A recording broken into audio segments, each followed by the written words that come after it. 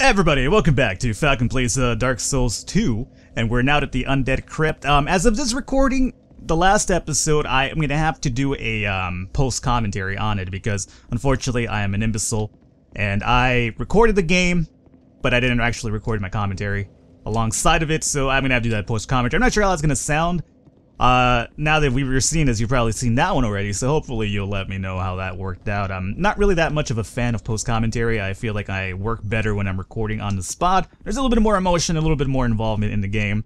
I feel that I tend to ramble a bit when I have to do post-commentary. That's why I try to keep it live most of the time, so I'm a bit more focused on the game itself. This individual over here is not going to attack you. So um, keep that in mind. However, you want to get rid of him at some point for a particular reason up above. This area over here is going to be a clusterfuck. Um, the Undead Crypt, I, I like the area, however, I also try to run through it as fast as possible because there are going to be a certain few amount of dick spots that we will run into later. Um, I hope that you have a bow for this area, by the way. What are you doing? You're sending those uh, crazy things after me. Okay. Alrighty, Hex Spell Lady. Yeah, you do that.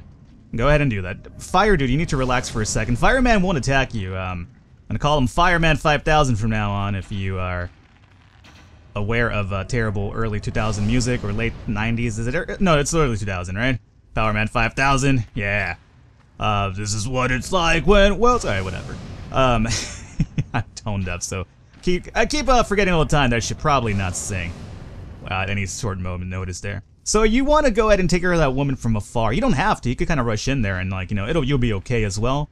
However, I like to simplify things for me, and you know what? Ever since the Shrine of Amana taught me, a long distance uh, attack of some kind is actually really beneficial to your overall well-being. I think I should have poisoned her, totally. Let me just dive out of the way of that.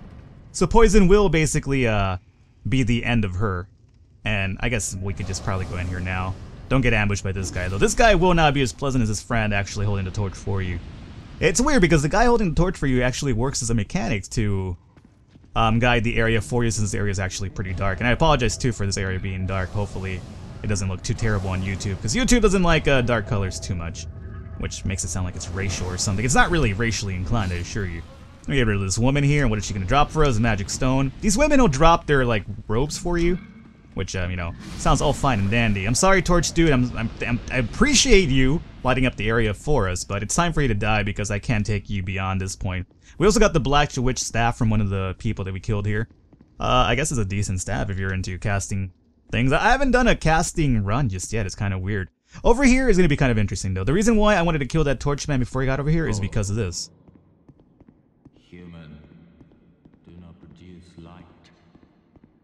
Alright, so that right there is obviously this dude over here talking. He wants us not to produce light. If you bring in this guy, if you yourself have a torch lid, or if that man follows you in here, with the torch, everything in here will go aggro on you. Because you can see right here, these are actual enemies in the game. And they're going to let me just fucking push them around and punk them around.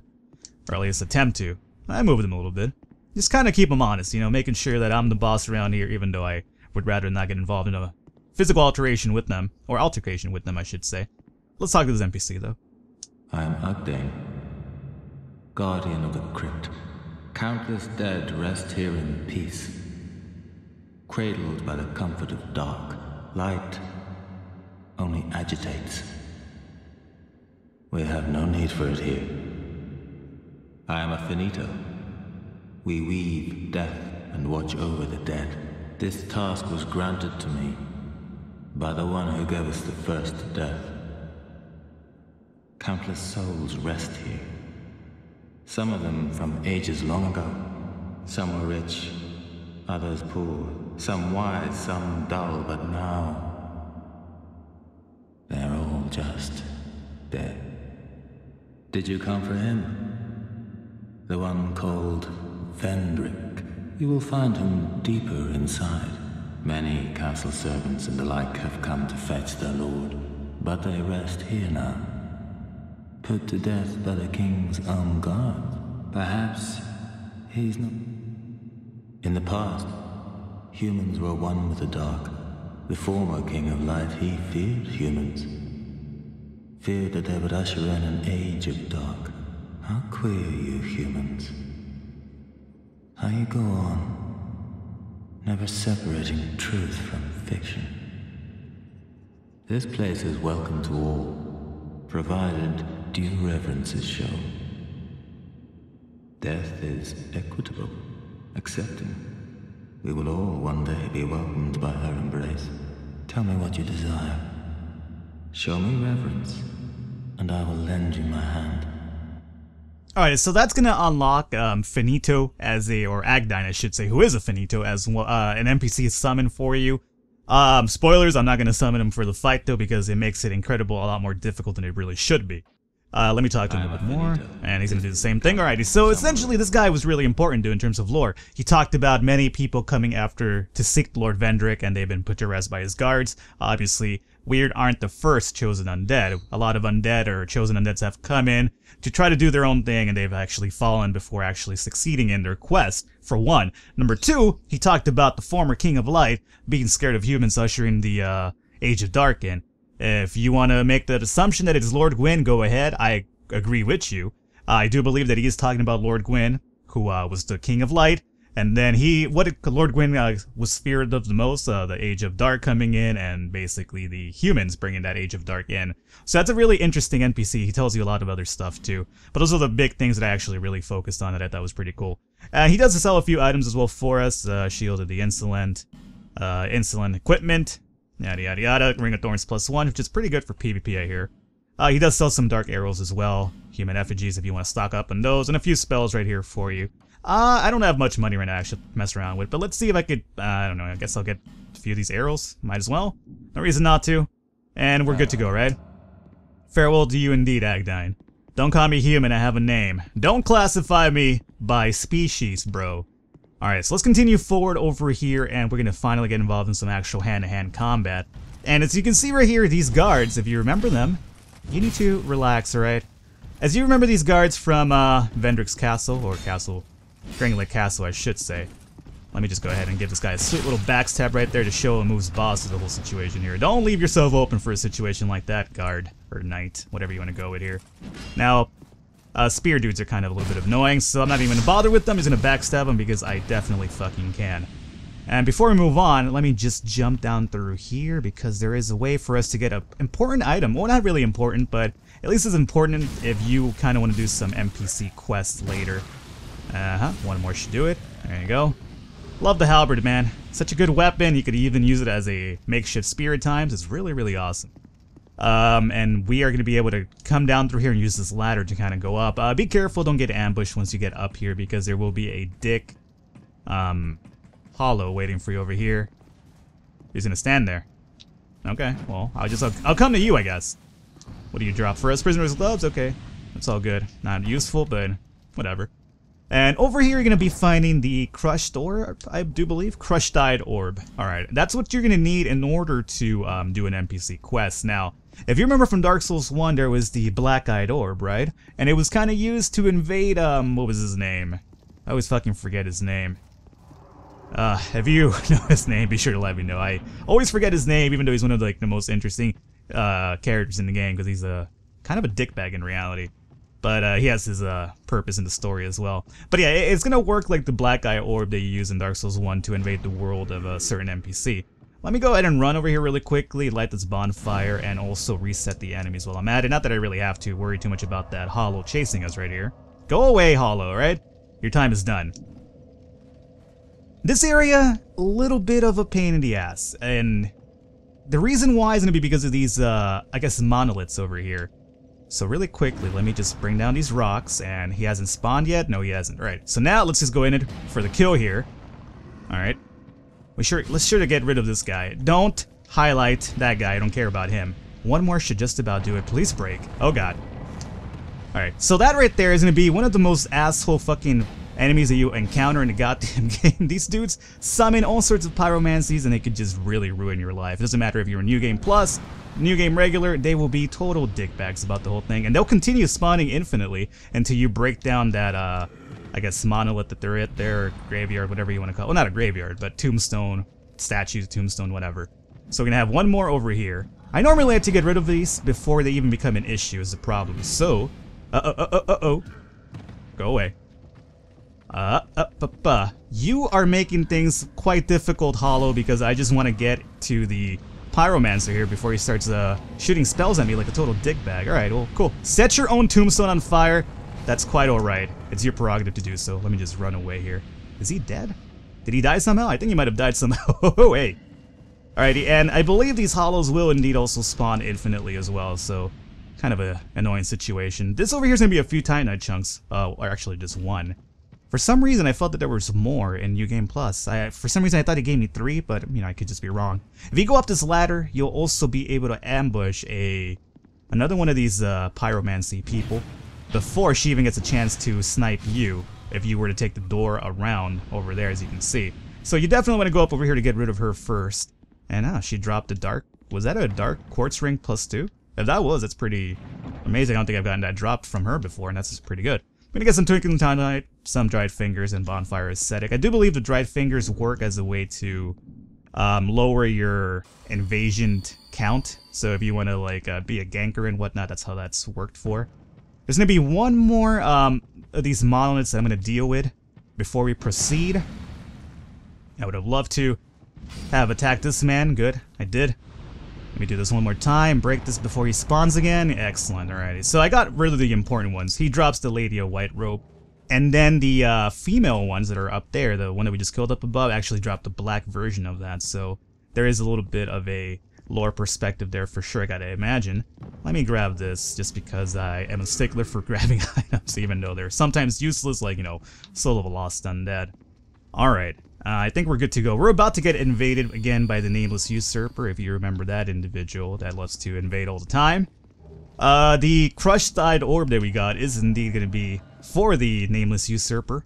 Soon enough, we'll be able to deal with her once and for all. Hollow, I'm going to get invaded right now, so you need to relax. There we go. So let's see here what we're going to do here. Well, I'm just going to start off by missing, if you don't mind. Alrighty. Yeah, you use all of your dagger attacks that you have to.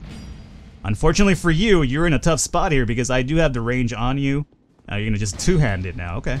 That's okay, you're allowed to do that, but I really advise against it because you are pretty much done and over with now. Not really a big deal when you have range over a individual with a dagger.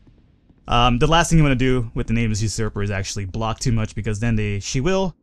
Uh, I say she because I'm jumping the gun here, but uh, any invader will indeed uh, try to break your guard, and especially since she has the dagger, her critical attack, if she decides to follow up on the guard break, will indeed uh, twice as much damage, which is no good for business. Uh, over here, this area, we're going to start rushing a little bit, because these guys, number one, really dicks to deal with, and I'm not sure what even triggers them from fucking attacking or moving, but you have to wait here for a little while. So I'm going to just try to sneak in between them. Sometimes it works, sometimes it doesn't. Uh, it didn't work this time and there's gonna be assholes spawning from walls next to us. Uh, if you don't mind, I'm gonna run around you. And now, over here is the tricky part. I gotta find the right exit. Uh, you always get lost here. Don't get lost this time, Falcon. Oh god, I'm lost. Here we go. Um, I'm running away from here because there's gonna be four of those uh, monolith tombstones that we dealt with earlier, and there's also gonna be a mechanic in there with the I guess the hollows that spawn will actually ring the bells, awakening all four of the pyromancers from their uh, sleep, their deep slumber from that. Over here, this will give you a shortcut to the area that we just went through to make it a lot easier. So they will indeed ring the bells and it's going to awaken four pyromancers. And then if you have four pyromancers shooting all sorts of pyromancy at you, it's not really good for business. So we are definitely going to avoid that if we definitely can. Um, what the hell is this? I forget what this is all the time a magic a magic stone and a dark knight stone. So if you're looking to infuse weapons, there you go. And there is a drop point down over here, which you could uh, drop down. Uh, let me jump back here really quick. I felt that that was going to actually kill me. Where's the drop point? Is it down over here? Oh, it should be over here.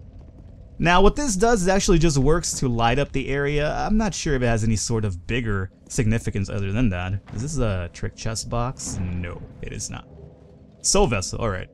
There's going to be a ladder up here, but what you want to do is go down through here, and it's going to light up the entire area for you. Again, I'm not entirely sure what its use for is, um, other than lighting the area up, but whatever. Uh, I'm not sure if that's going to piss off uh, old uh, Agdayne over there and his Melfinito crew, but that's still a risk that I'm willing to take just so that we could kind of prettify this little area a bit and bring the light about. So as soon as you light this up, everything should start happening, right? Come on, do it. Do the light show. There you go. And if anything, it at least serves for a pretty interesting look as to what's going on over here. We have these dark rays from Lord of the Rings, apparently. Alright, so there you go. Um, if you want to light that, it's lit up, and uh, this ladder over here will take us back to the bonfire. But we're not going to use the bonfire, because then people are going to be respawning, and we don't really necessarily need that. And there is another item over here. What is this? Soul of a hero? Okay, good. So if you're looking for soul items, that's the way to do it. Don't. Why do I have to jump over? Just jump off. Alright. So, at this point, we're essentially done with the Undead Crypt. Uh, I did skip the little area where those uh, Pyromancers spawn, but again, I shared my reasoning why, because I'm not going to deal with that. And we're actually almost about to finish up this area. We're going to actually deal with the boss of the area really soon. Uh, again, there's going to be one more mechanic here where this asshole Hollow is going to try to ring this bell. Don't let him do that or else you'll be making life incredibly difficult for yourself. Don't do it. Don't go don't go to that bell. I know what you're trying to do, and I don't like it at all. Alrighty, so kill him, because he's going to uh, eventually ring this bell. You could have hit the bell too. So uh, be sure not to attack him too close to it. And what that's going to do is that all these uh, little tombstones here, graveyards, monoliths, uh, mausoleums, whatever you want to call them, will indeed spawn one of those pyromancers. And if you thought four of them was bad before, all of these here are going to be a pain in the ass. This area, you could try, it's really annoying. You have to deal with a lot of these Vendrick guards or Drangleic Castle guards, and I don't like doing that. So what I will do instead is switch over to some poison arrows and see if we can start getting the jump on them to a degree. It's going to spawn quite a few of these assholes, unfortunately. Am I just missing this guy completely, or... Yep, apparently I was. Alright. Yeah, so as you can see, there's to be quite a few fights with these dicks over here. I hate this area. It's probably a lot easier for you to just try to run around them, outmaneuver them. But um, for the sake of this, I don't want to make it too much of a wild card situation for us. Let me drop a Estus Flask here. I'm usually pretty decent at the Velstadt fight, which is really surprising because initially when I fought Velstadt for the first time, he just rocked my shit continuously. And then I was able to beat him in New Game Plus easily, so I'm not sure how that worked, but it definitely did work for us. Those two guys are dead.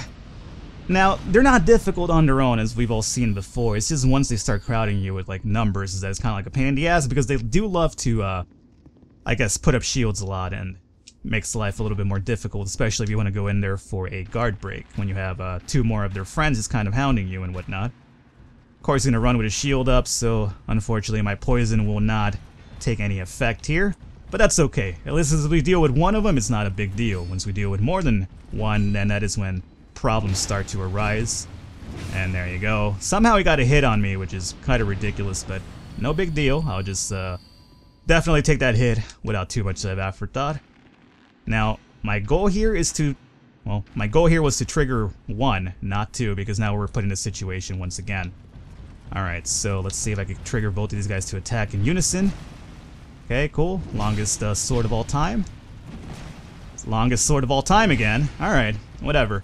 Hitboxes in Dark Souls, right? Can't complain. Well, I mean, I can complain, but it's not gonna get me do. It's not gonna do much for me to do so. So you do your thing. All right, dick. You know what? I'm gonna guard break you. How do you like that, huh?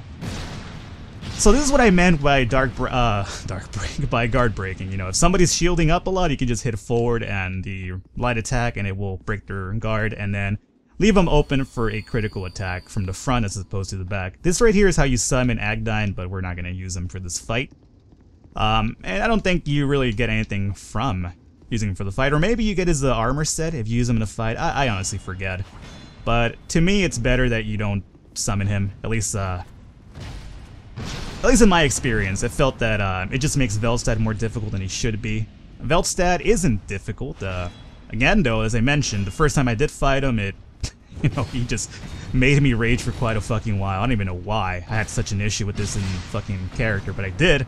And then I figured out the easy way to beat him, and I guess the difficult thing about um, Velstadt is that he has a really sketchy hitbox, like, towards you. Like, he could hit you like a mile away for some reason. But without further ado, let's just get in here. But before I do, let's make sure that we have some sort of protection going on over here. How about we use the Dark Ring? Mm. Yeah, Ring of Giants, Poise. Uh, let's go with the Stone Ring, I suppose. And I suppose that'll do, right? Anything else? Ah, we could use Havel's leggings now. Alright, sure, let's use Havel's leggings to give me a little bit of extra defense because this fucker could hit like a truck.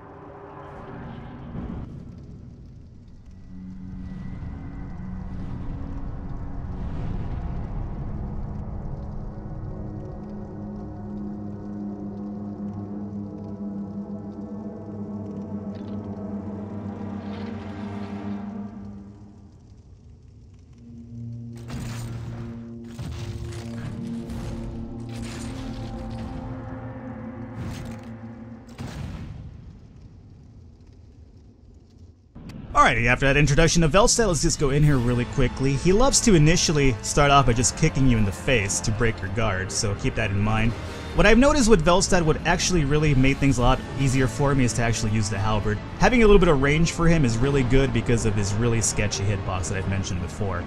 Um, Velstadt, what makes him difficult is not only the sketchy hitbox, but the fact that uh, around halfway through his health, he will power up like really, really crazy. He'll take a lot less damage, he will do a lot more damage, and again, as you can see, his attacks are really easily capable of breaking your guards and whatnot, so keep that in mind. I like to keep a little bit away from him, and even after he powers up especially is when I like to keep away from him, because it does then make the fight a lot easier. So let me just kind of keep a distance for a degree here. One, two. It's probably best for you to also figure out his attack pattern before you go in there too deep. So that'll kind of almost take him down halfway health. He's going to do his power-up attack pretty fast this time around. This also gives you a few chances to get a few hits in, though, so be sure to use that to your advantage, whatever you have to do. Alright, so he's just about almost done. What I'm going to do now is kind of go away. Okay, that was not going away, but and that almost cost me my life. At this point, he is almost capable of one hit, like, you know, basically doing one hit kills, so Definitely be careful, keep your guard up if anything, if you can't really roll through. And the moment he jumps back is your cue to jump, run over here as soon as possible. He'll circle around and try to uh, attack you, but then this completely leaves him open, and this is what made Velstadt to me really easy. Okay, once I figure that out. Don't do anything just yet, Velstadt, let me heal up. Alright. That was really, I was hoping that it would not hit me, but it did. Alright, Velstadt that fucking column got in my way there. Do your thing, man. Don't don't come at me right now. You might fucking kill me. Let me pop the thing here. this guy, it's really scary to be honest with you. I'm not sure what it is about Velstadt. He always has my number. I would just love you to do your uh, dark attack thingy, man. Just go go back there and do your dark attack. I'm giving you range. There you go. The moment he jumps back is your cue to just run in here. Again, you could try to fight him regularly. You can succeed at it. I've done it that way as well, but it's too much of a it's too much of a risk, I feel, when you can just easily trigger that attack for him and then you'll be able to get a few hits on him and he becomes easy this way. Uh, when you try to go mano a mano with him, it's a lot more difficult because I've mentioned the sketchy hitboxes on this uh, boss and that's what made it completely difficult. And overall, we finally beat Velstadt, which is essentially the uh, Lord Vendrick's uh, guard that was always at his side. He was like a shadow to Vendrick, and Vendrick's actually going to be over here, so let's go take a look at Lord Vendrick. This is what our quest is culminating to. And this is Lord Vendrick. And I love the atmosphere for this area. The song is really, really like, really cryptic, like really ominous. Um, Lord Vendrick is indeed completely hollow. He is completely lost to the world. He's not going to attack you. You can attack him now, but I wouldn't advise it just yet. Um, yeah, but he's over here in Undead Crypt. He's completely hollow. The curse overtook him. He's taken off his clothes. He's no longer even the king. He does have the king's, uh, I guess, uh, crown on still. But he seems to wander around and not do a damn thing to you. But we finally got what we need to continue here, which is the king's ring. And this will give us access to all the areas that had been unlocked to us beforehand. And Emerald Herald is going to make her appearance over here as well. This ring is the symbol of the king. Use it to gain passage through the king's gate and venture to the far east bearer of the curse. If you are to be the next monarch, then one day you will walk those grounds without really knowing why. Alright, Emerald Herald. Cryptic as usual. So there we go. This is basically our quest. Um, hopefully you guys enjoyed Dark Souls 2. We are, uh, no, we're not done yet. Uh, there's still a few more things to do. Uh, as you can see, though, this basically solidifies the fact that Vendrick is not the villain of the game, even though that's what you've let, or so far thought that was the case. But we're gonna finish it up right here. I'm just gonna go back to uh, Majula and then head to our next area that we're gonna go to. So hopefully you guys enjoyed this episode. If you did, I encourage you to click the thumbs up button. The support really does mean a lot. And um, we're almost hitting the end game of Dark Souls 2, so we have a few more areas to cover, and then we'll be pretty much good to go. So hopefully you guys enjoyed it. I'll catch you next time.